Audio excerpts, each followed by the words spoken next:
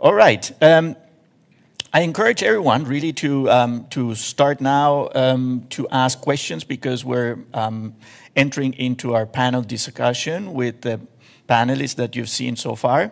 Um, I encourage you all um, to uh, post your questions uh, digitally, but also uh, from the audience uh, to raise your questions. Um, we have uh, Joanna we have Joanna and, uh, Claudio on digital, but we have uh, Patrycja here on live. Patrycja, please come on the stage. Um, and um, yes, um, now the stage is uh, yours to ask questions to the panelists, please. Any questions? Michael, you probably have questions. Come on. no? you have one.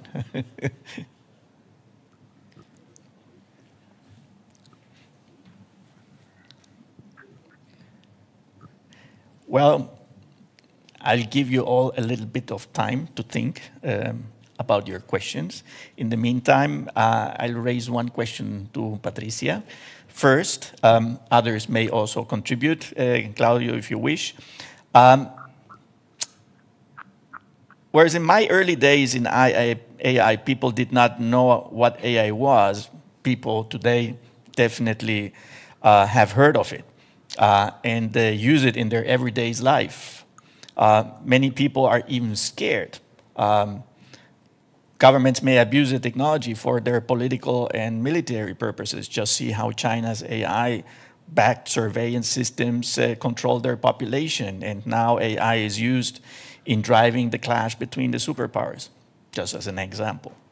With that context, uh, to you, Patrycja, uh, what do you tell friends and business colleagues where AI is heading to or even taking us?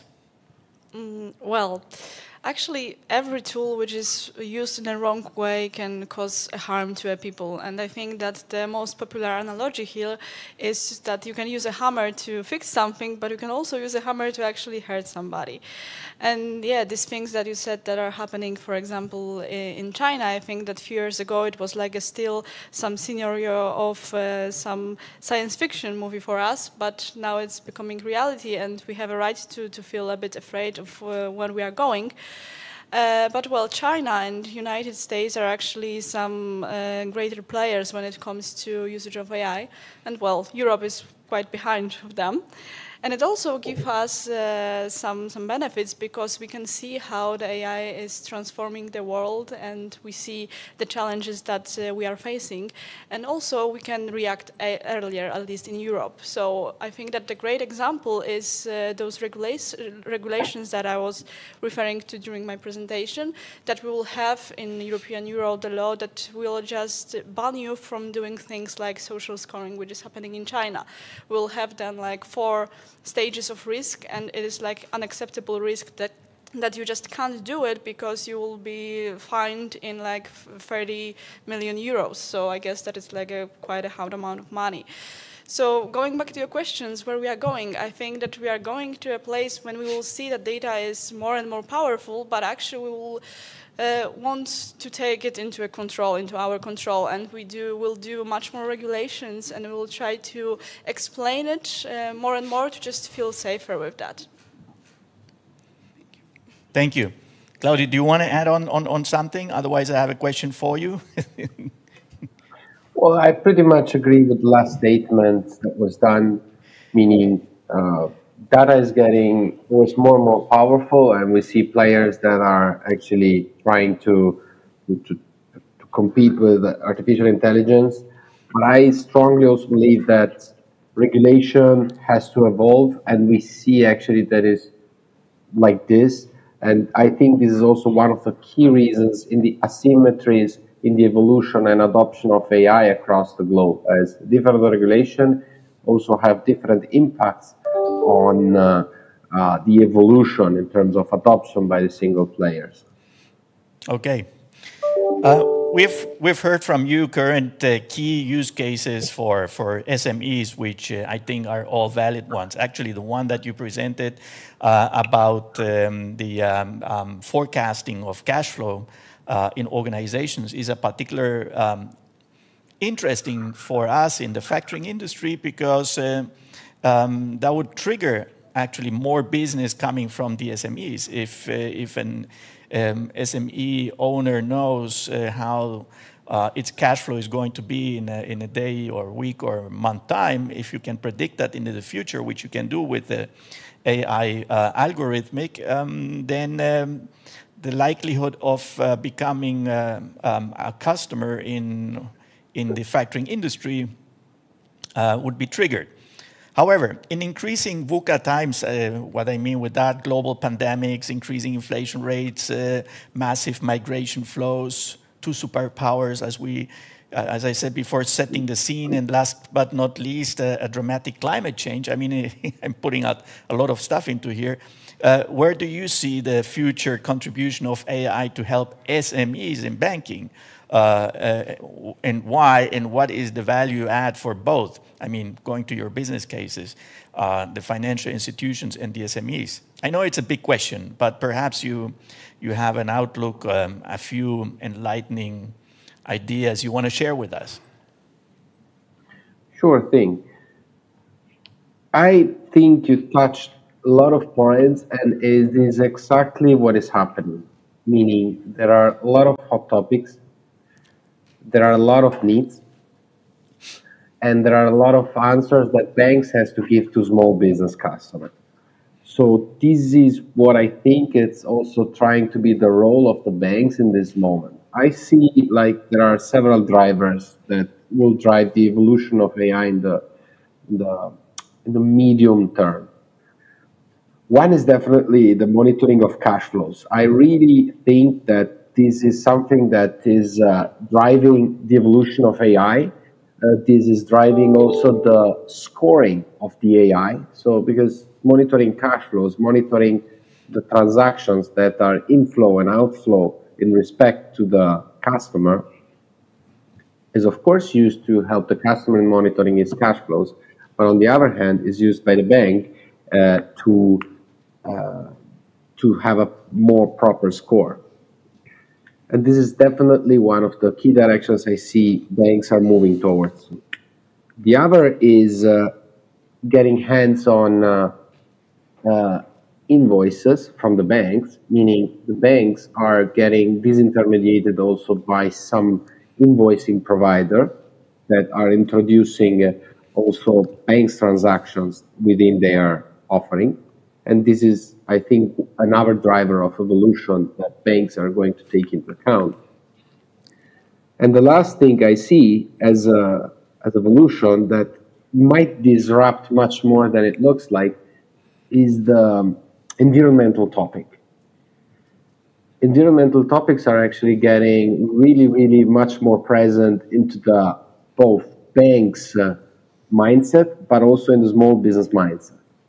I recently saw some researchers where small business customer would love to better understand what's the impact of their actions in respect to the climate change.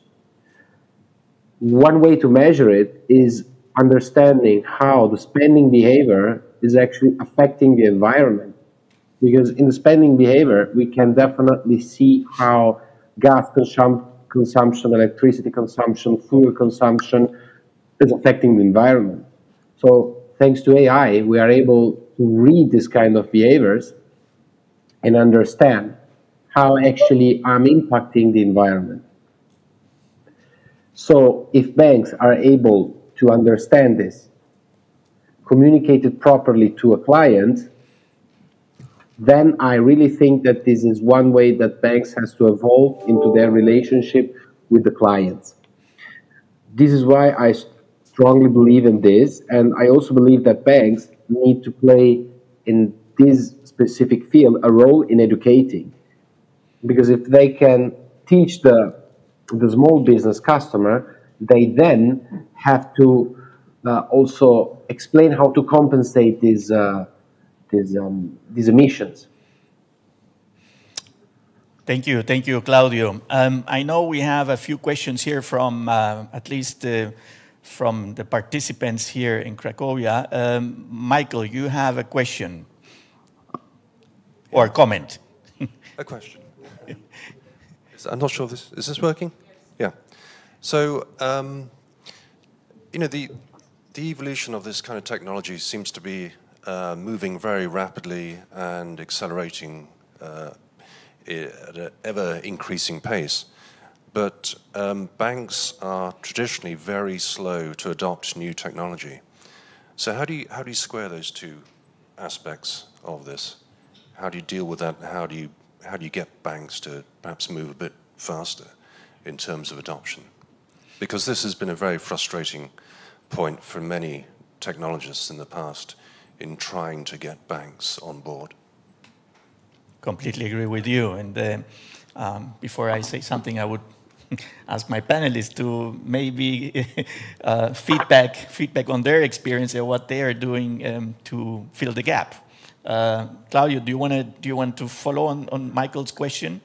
Uh, how do you guys sure. um, uh, fill the gap of uh, you know providing solutions and um, the financial institutions kind of yeah not jumping on the train? It is a fair question, and uh, I think this is why also we, we have seen a dramatic uh, growth of fintechs in the last years, meaning the first enabler is, are the fintechs itself. This is why we've seen that at the very beginning of the rise of the fintech, banks thought that fintechs were actually a competitor. In the end, we have seen that fintechs are seen as an enabler for providing the technology faster to the bank. So the first enabler, I think, is definitely leveraging the fintech technologies. The second enabler is the cloud. I mean, if banks are able also to connect to external platforms that are made available on the cloud, so more than deploying on premises, once again, the technology that has been developed by a third party, I think this can definitely speed up the, the, the, the, the, the technology adoption by the bank. Mm-hmm.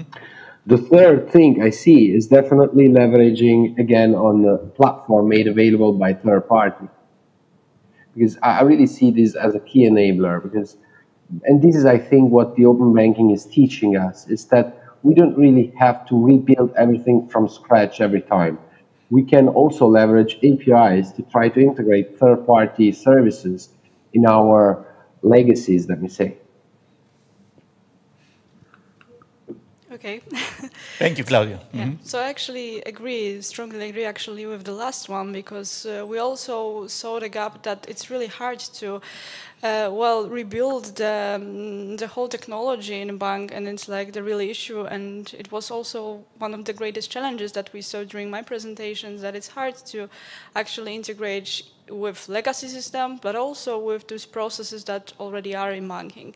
So yeah, the one idea is, for example, to use some external tools some, sometimes which already have some functions which allows you to, to organize your data somehow and gives you like the uh, machine learning solutions inside and you don't have to do like the powerful uh, reorganization inside of uh, your financial institution.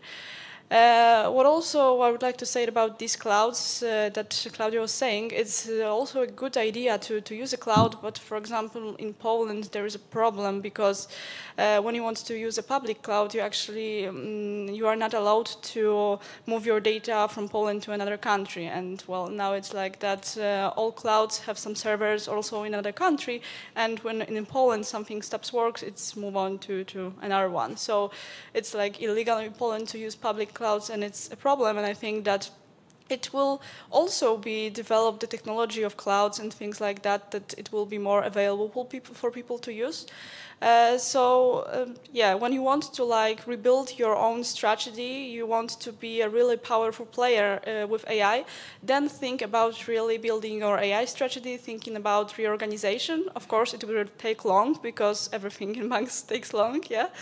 Uh, but uh, you have to plan it like right now to, to have the opportunity to, to be the key player in that. If you just need some several things that you know that will be important for you in your bank, then think about some external uh, external tools because maybe it will be just enough and it will be just easier to integrate than than to rebuild all your technological stack that you have.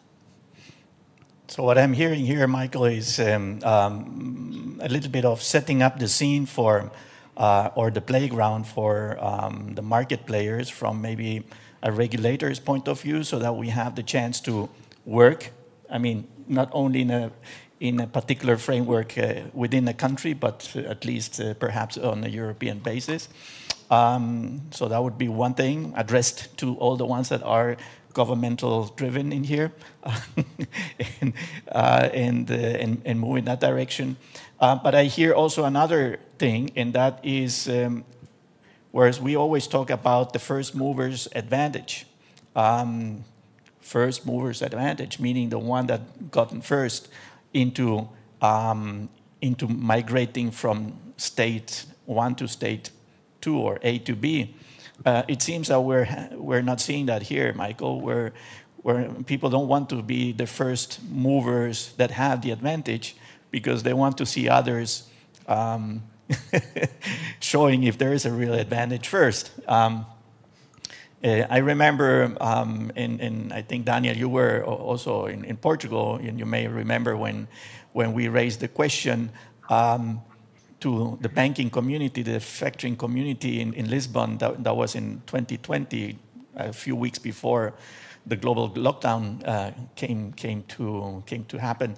Uh, we asked them, uh, where are you today? Where are you today in your, uh, in your um, digitalization we're not even asking AI or blockchain uh, transformation, but we were asking how far are you with your digitalization transformation? Um, and, um, and it was really, uh, maybe not a surprise, but uh, uh we figure at 20% of the organizations were, were working on, on, on, doing a digital transformation. So um, still working way back um, and, um, and not trying to use the first user advantage and saying, well, we're looking what the Spanish do, and then if, if that works for them, then uh, we may adopt some things. It's like uh, we feel like evangelists in this industry going around for years out there promoting, promoting the change. Any other questions? Yes, uh, Olena, please uh, feel free. Yes, I would like to ask a question first, uh, Patrycja, and maybe then Claudio. And also to comment, because yes, we while we were doing this common study with Asseco this year, uh, we noticed two things here in the region. First is that um, banks do not have AI strategy, and they prefer to start with the cases. And this is uh, everybody uh, and, and all the examples of the AI cases that we have. So everybody started with the AI cases. And here we have a circle, a problem and a challenge, let's call it like this, that um, business lines are not interested to start AI project because they don't know, they cannot measure the outcome and they do not want to allocate their business budget for the project which they cannot measure uh, in the future. And of course, there is no a separate AI team uh, which can uh, do and have budget for this in the bank. And maybe because Patrycja uh, mentioned about the AI as a service or maybe AI outsourcing. And uh, yes, we are encouraged also to download the study at uh, Asseco uh, virtual stand. And we have example there from uh, Finland, from OP Group, a bank that uh, also implemented AI. And Antti Milamaki, head of AI, shares how they uh, did this. So the how to solve and to start these AI implementations when we do not AI people in the bank and because they don't, don't have the project to start and we don't have the projects because we don't have people. Uh, so, and maybe AI as a service or AI as outsourcing can be a first start to start first cases. And Patrycja, maybe you will comment how it can really technically can work for the bank in this case, because maybe this is a good start to, to, to start implementing and then understand value for the, for the business teams. Thanks. Yes, yes, exactly. I think that uh, the opportunity that you can just check out how the AI works uh, just by buying some some external solution, it's a good idea because then it can gives you some of assurance that actually it works, and the data is uh, at least somehow organized that you can do some use cases on that, and also you can then encourage people from those business units that it's good uh, to use it because well there is no better uh, proof of uh, that uh, AI is works than some benefits that you will just have from it. So things like buying tools from some companies, uh, IT companies, I think it's uh, good for just starting and see how it's going. And you always have an option to uh, see how it, how it looks like, but also start to build your own AI unit just inside of your organization to just be sure that it works and then try to build it on your own. So, for example, um, you can try to take over the maintaining of the, of the model at the beginning and also uh, what I was saying during my presentation about this um, other option that you can also uh, outsource only a team. So, for example, if you don't have like the experience with the whole project, you can just uh, borrow, hire a team from somewhere to do for you some machine learning project, but like inside of your technology, not like the external tool that will be added. And then it, I think, gives you um, really a lot of information what you have to change when you want to be good at an and, and other things. It's probably a little bit harder to achieve some successes faster when you like do everything from scratch than you buy an, uh, than you buy a solution which is external. But it's also a, a good idea to do.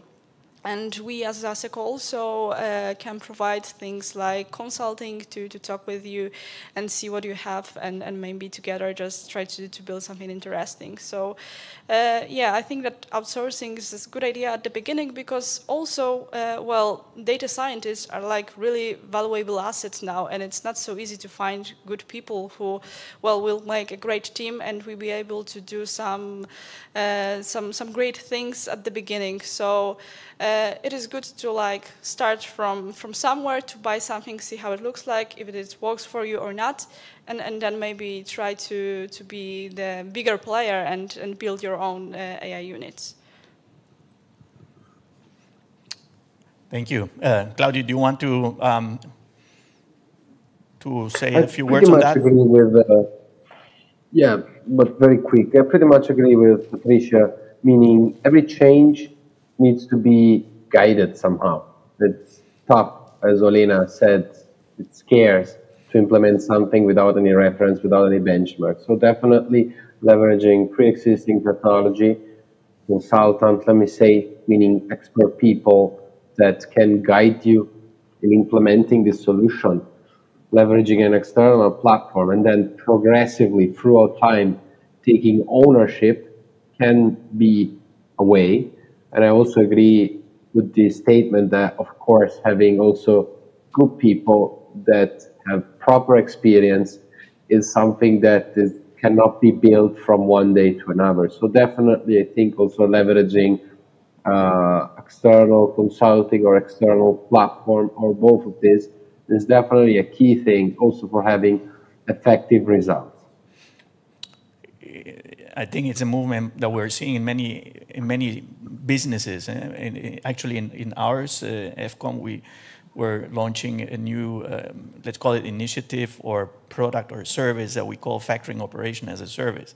Um, out there, there are organizations that may be thinking of uh, kicking off, starting a, a, new, a new business, but don't have what you say all the infrastructure, all the people, every, everything set up, running and stuff. So, um, but you would like to enter that space. So how do you do that? And um, the easiest is if, if you get uh, some assistance guided, uh, outsourcing, if you call it, uh, but someone that takes you, takes you uh, up and walking, I'm not saying running, uh, the first stages, and then uh, up you go on yourself. So yes. Um, any other question from, um, from the, from the, to the panelists uh, from here or digital? Otherwise, I have one more. Yes, please, Anna. Anna. Is it Anna? Oh, no, it's not Anna. Thank you.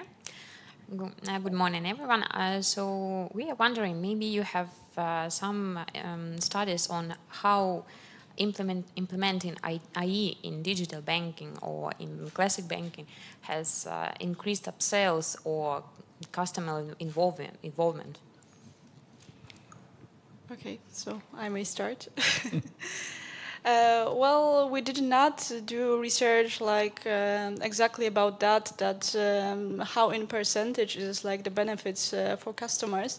But yeah, like uh, you saw that uh, in SME financial institutions, actually only like one third of financial institutions do something about AI.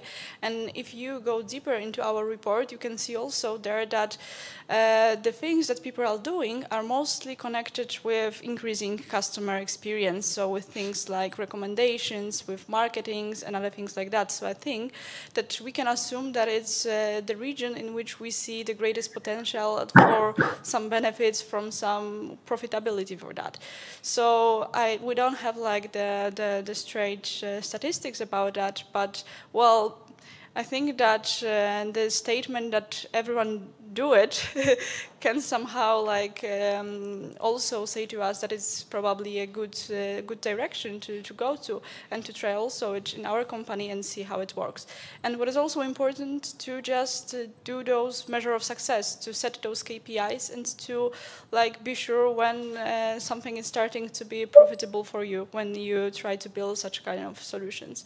To just be able to track it somehow because well not everyone always goes well. So so yeah, so I would uh, I would say that recommendations and things like that uh, definitely works because a lot of people actually use it. Uh, but it's really important to have in mind uh, what you want to accomplish. Thank you.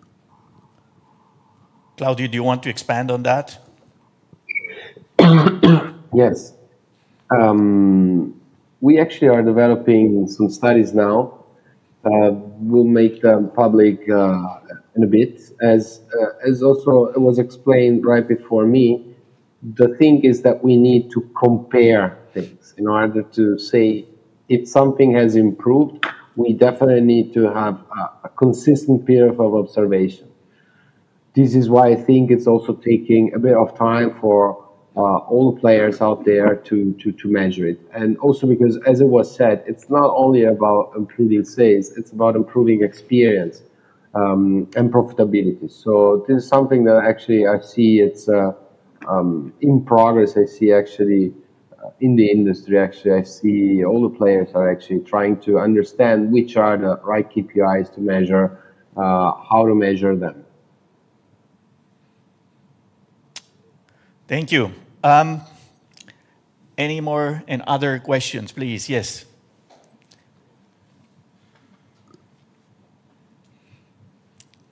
maybe you want to introduce yourself yes, uh, shortly. Thank you. Uh, Paweł Jaszewski. And I have one question. You tackled that, that a bit already, but uh, uh I represent a bank, BNP Paribas, and uh, all the time I think about the AI or machine learning or, or, things like that. I wonder what, in your opinion, of course, because uh, I, have, I have an answer in my mind, but I'm just wondering about your opinion. What is the biggest obstacle uh, when implementing such solutions with a bank or cooperating with a bank? Yeah? J just one biggest, because we can find many like, I don't know, uh, as you said, uh, lack of knowledge, I don't know, being scared of AI, I don't know, problems with data uh, quality or access to data or things like that. So if you were to name one biggest obstacle, what would it be? Okay, so I think that actually banks are most afraid of integration. So it's for them the key reason why they don't want to do it or are somehow resistant for implementing AI. But personally, I don't think that it's such a good, such a big obstacle nowadays because, well, when we are heading with some new technologies, we see more and more opportunities to actually overcome it somehow. So I think that nowadays, uh, things that will be the most important for us will be uh, law regulations that will be happening, because it's not so clear for us yet how it would look like, and well, it may also uh, discourage some people from from using AI when when they will see the penalty like 30 million euros. Well, you will think twice before you will implement artificial intelligence of, uh, in your company. So I think that, yeah, banks think mostly about integration, but we should also start to look at those law regulations that are ahead of us because it will be probably a bigger issue for us to, to satisfy it correctly. Thank you. Patrycja. Claudio? I see mainly two things actually um, in my head. One are the data. Of course, banks' assets are data. So, of course, letting someone new accessing an asset of the bank, I think it's, of course, uh, somehow a bit resistant. But I think PSD2 is pretty much changing this first mindset, I think. The second thing, of course, is getting hands on a new technology. So this implies change, but in the good sense, meaning this is something new, this is something that the bank needs to understand, needs to get hands on, and needs to understand the implication. It might imply reskilling, it might imply new regulation to be faced, as also Patrycja was saying. So I think this is a bit what I think it's, it's what banks are more resistance towards to is definitely the change management in the adoption of the new technologies. Also considering that a bank is not a fintech, it's an organization. It, it, it's already, it has a structure, it guidelines. So introducing a big change, of course, has different impacts on different areas from the several business units, the compliance, the legal, to the analytics. So I see that every time we also introduce a new technology, our technology into a bank, it, it's affecting different areas. And of course, the banks is likely also uh, evaluating the impacts, of course, it's pragmatic, of, of the new technology adoption. If I may add on that, uh, what Claudio was saying, our experience is uh, pretty much the same when we talk about transformation, because what you're doing is virtually transforming your organization, and uh, and you're not transforming, um, replacing machines uh, with other machines, but um, you have a big impact on people. And uh, since people are the ones that are driving and transforming the organization, and the business leaders, in, usually in a generation uh, that perhaps do not understand um, uh, the technology and the implications, uh, reluctancy to change. Um, and um, that's why in our um, symposia that we do, um, we have been inviting uh, on a regular basis, pretty much over the last three, four years, an expert on change. So we talk about technology, and then we have um, an expert that tells the audience, hey, um, change happens in this and that way. And yes, it can hurt, but it's like at the dentist. It's going to be for a better, right? Uh, and uh, for us and for the change people, it's about making it fast and making it, uh, yeah, making it in a way that you understand what's going on. And I think the reluctance to change would be my pledge on, on this one. Yeah. Looking at the time, um, I would say um, I have one, one food for thought. I would like to uh, let you go, at least on this panel, uh, and that is uh, considering the intro speech I gave to um, presenting um, Joanna. 180 um, zettabytes of data. Maybe we cannot imagine what that is. Uh, that will be created and captured and uh, copied and consumed by 2025. So three times more than last year. Um, just to give you an idea, the last largest data center in the city of Frankfurt, where uh, we are based and located, for example, consumes more electricity than the entire city of Frankfurt. One data center, more electricity than the entire city of Frankfurt, okay?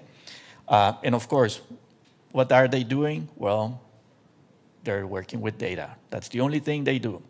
Um, now, another one Bitcoin alone consumes more electricity, uh, Bitcoin alone consumes some two thirds of Poland's electricity demand. So, two thirds of Poland's electricity demand is consumed by Bitcoin, which is one token. Hmm? So, this is a lot of energy. Um, the world has currently a shortage of chips. You probably have noticed it. If you wanted to buy a new car, well, you will probably not get it right away unless it's a used car. Um, and um, shortage of chips, automobiles, nor microwave oven can be manufactured right now because of that. Everything with a chip is on shortage right now. Data is indeed the oil of the 21st century, and we consume more and more. We should think about that as what are the consequences for all of that as well. Not only what we can do with the data, but what is it implications have on another part of our life. And, what, and with that, um, I would call for a break. But before going into a break, I would also call um, the audience, if you like to join uh, our digital booth at EFCOM, um, my colleague uh, Georgia Tomljanovic uh, will be receiving you there. And in the meantime, let's have a break and we continue in five minutes, right? Thank you. Thank you very much.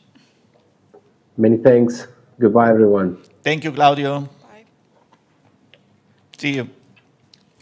See you. Oh.